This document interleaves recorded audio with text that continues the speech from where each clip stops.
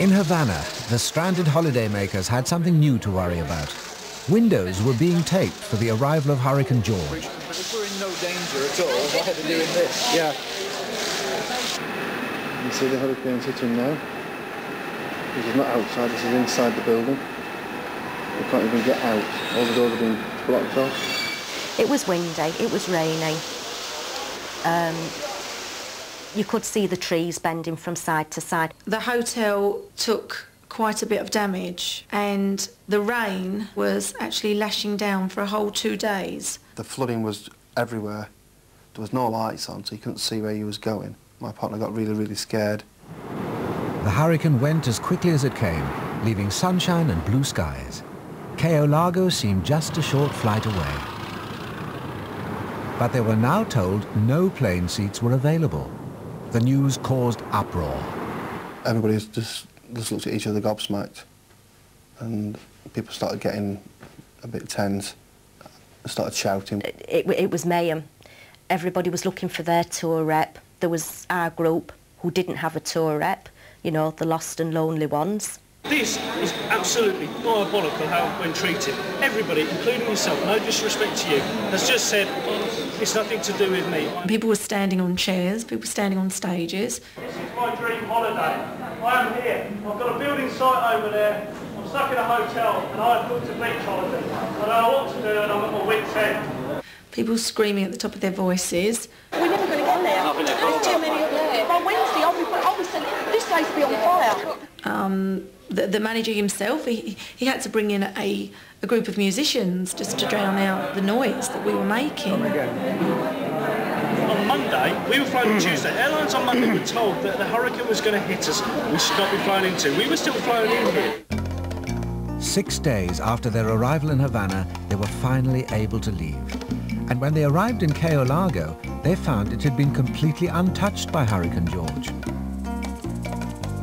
We thought that we were going to go to an idyllic island, Cayo Largo, looked beautiful. What we actually got was a hotel from hell.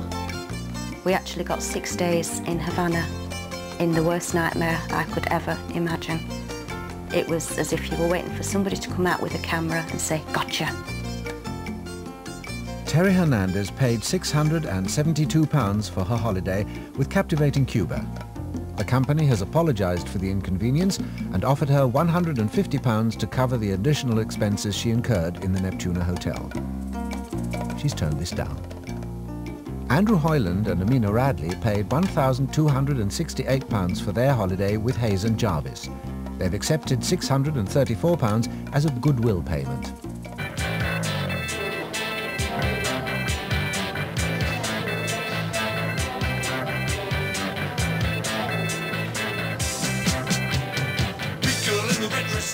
The holiday season hots up in May, and with it comes flight delays.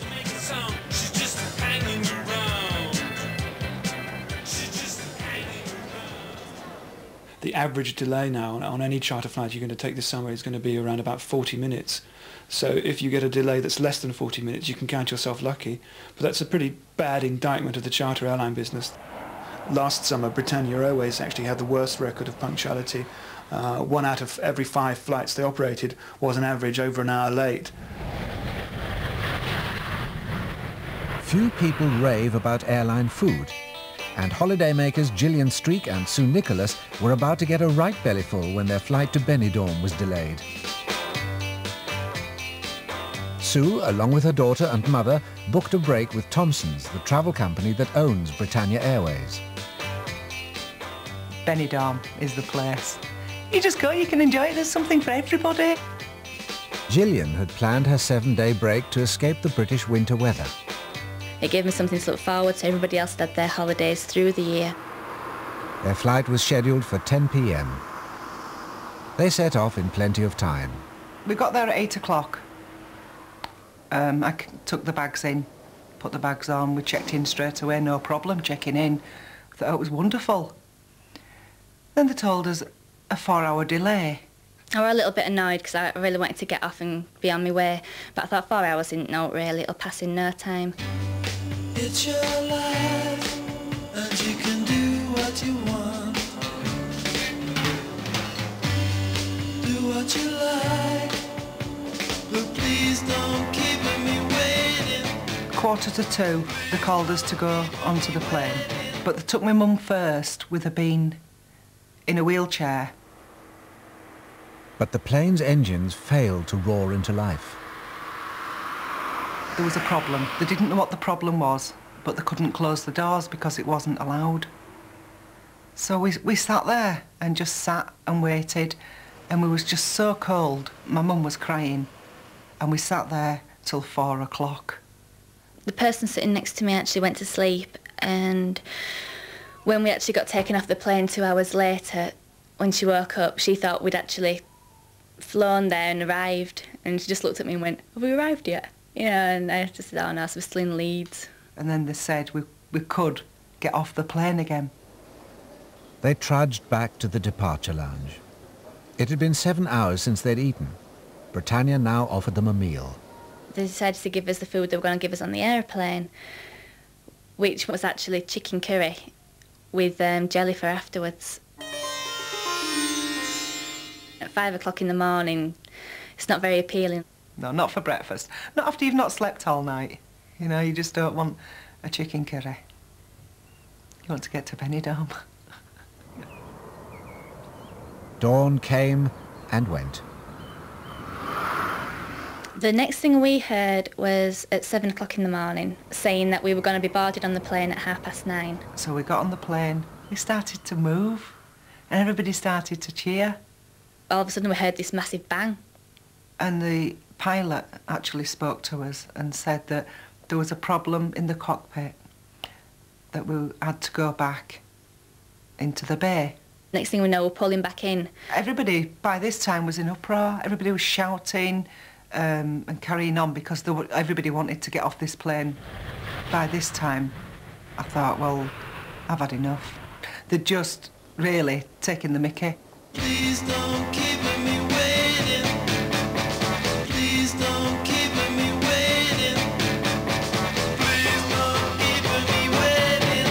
And then people are getting really agi agitated because of lack of sleep, not knowing what's going on. And we should have been on holiday you feel like a prisoner. You know, you just sat there and, and, and can't go anywhere. And there's nothing you can do about it. They waited and watched for information. They told us that there was a plane coming in at two o'clock from Dublin. So we thought, well, that's not too bad. It's 11 o'clock, on his way. Two o'clock. Yeah, be on our plane and we'll be, that'll be it. Benidorm. Five to two. Bing bong. Passengers for Alicante. And we all stood up thinking, oh, great, we're boarding. The plane you're supposed to be boarding hasn't arrived. You just want to lash out at somebody who's in charge because to you, they're not doing the job. They should be making it more comfortable for you. They should be giving you at least an explanation or an apology. But what did Britannia give them? What a laugh chicken curry and rice. Couldn't believe it. Chicken curry for breakfast and chicken curry for dinner. Oh, well, well, we did have chicken, we did eat it. It was nice at that time.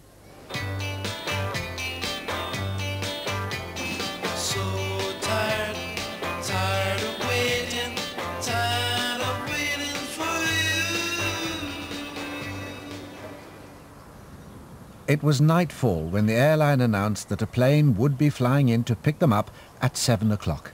They'd been in the airport 23 hours when the flight was finally called. So we all, we all gets on the plane, 7 o'clock, and we started moving. Like, and we thought, nobody dare say anything at first because we didn't know if we were going to stop again. And then when we actually went down the runway, it was like 7.35 and we're all going, yes. Everybody's clapping and, you know, like, yeah, you know. Um, we knew then we were on his way.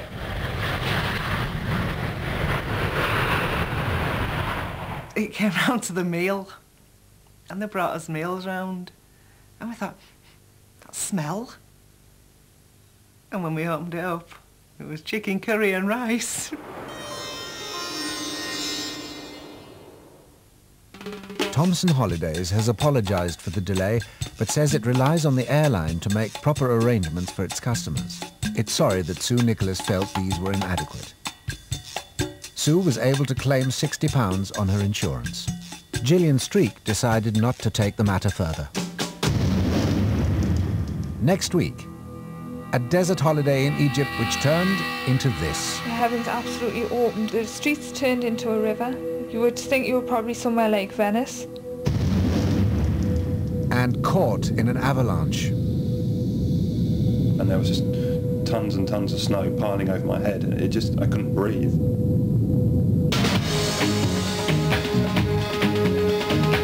In our new thriller, Trevor Eve has an evil streak.